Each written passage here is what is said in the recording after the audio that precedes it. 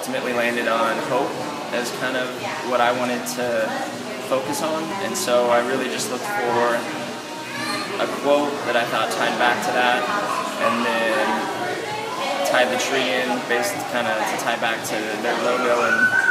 Uh, the, the, purple and, and the idea of night kind of plays a little bit off of the struggle. Human thoughts and everything has so many different layers and it's very complex. So with this piece, it's of three different layers of uh, staining and charcoal and India ink, and it's of a um, of an elk.